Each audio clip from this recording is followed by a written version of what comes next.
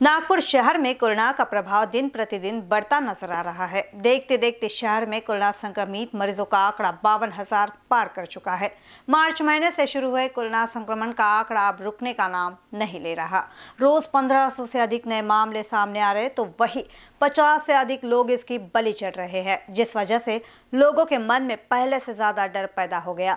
इस महामारी ने आम जनता की परेशानियाँ तो बढ़ाई है, लेकिन इसके चलते प्रशासन की लापरवाही भी पर्दा उठाए है। प्रशासन द्वारा किए जा रहे कोरोना व्यवस्थापन पर गंभीर सवाल उठाए जा रहे हैं। अगर शहर में कोरोना रक्षक ही संक्रमित होंगे तो आम जनता को सुरक्षित करना मुश्किल हो जाएगा। बहरहाल, शहर में बढ़ते संक्रमण को देखते हुए लॉकडाउन ज़रूरी है।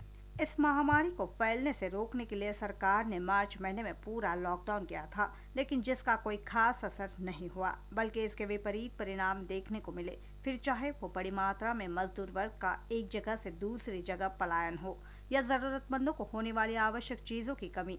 मार्च महीने में सरकार द्वारा किए गए लॉकडाउन ने केवल लोगों के मानसिक तनाव को बढ़ाया है। देश में अब यह आंकड़ा छियालीस लाख हो चुका है और जल्द ही पचास लाख भी पार पहुँच जाएगा।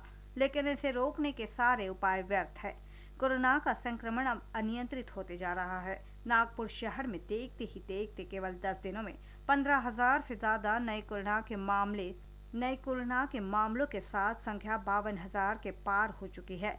इस परिस्थिति को देखते हुए लॉकडाउन की मांग कर रहे हैं। कोरोना वायरस ने पूरी दुनिया को अपनी चपेट में लिया है। चीन से फैला यह वायरस पूरी दुनिया के साथ अब भारत में भी तेज़ी से फैलता जा रहा है। महाराष्ट्र में नागपुर शहर ये कोरोना मरीजों की सबसे अधिक संख्या के साथ तीसरे नंबर पर है।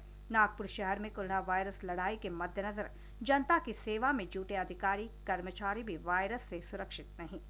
इस कारण आम जनता द्वारा सुरक्षितता के प्रति दुमत जताया जा रहा है। आम नागरिक कहो या प्रशासकीय अधिकारी कोरोना ने किसी को नहीं बख्शा तो क्या ऐसे में आम जनता सुरक्षित रह पाएगी? यह सवाल प्रशासन की व्यवस्था पर उठता है।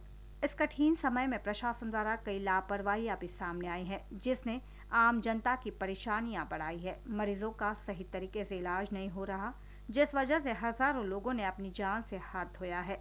मेयो मेडिकल अस्पताल में मरीजों के लिए बेड उपलब्ध नहीं है।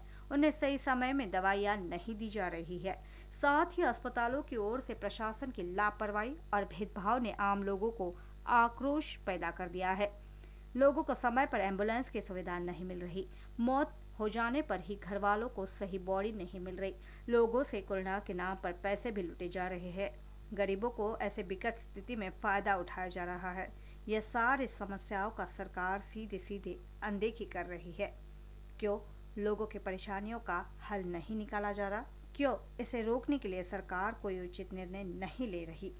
आज इस हालात के लिए प्रशासन पूरी तरह से जिम्मेदार है। मरीजों को समय पर प्राथमिक सुविधा से वंचित रहना पड़ रहा है।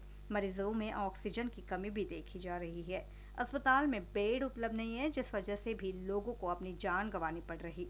शहर में बावन हज़ार कोरोना के मामले हो चुके हैं, जिसमें तेरह हज़ार केवल एक्टिव मामले हैं, जिनमें से कुछ लोग होम क्वारंटाइन हैं। तो सवाल ये उठता है कि शहर के तीन बड़े अस्पताल साथ ही अन्य निजी अस्पतालों, जो कोविड के लिए मुहैया कराए गए हैं, बावजूद इन सभी सुविधाओं के मरीजों को बेड क्यों उपलब्ध नहीं है? या फिर इसके पीछे भी पैसे का लालच इन पेशेवरों का धंधा हो गया है। प्रशासन मास्क नहीं लगाने वालों पर ज़्यादा ध्यान दे रहा है। बाकी सारे मसले की ओर किसी का ध्यान ही नहीं है। सभी अधिकारी, कर्मचारी घर में रहकर वीडियो के ज़रिए आम नागरिकों से नियमों के पालन की अपील तो कर रहे हैं, लेकिन समय की ज़रूरत, अच्छे स्वास्थ्य सुविधा है, जो कि नदारत है। और इस ओर प्रशासन सोई हुई है।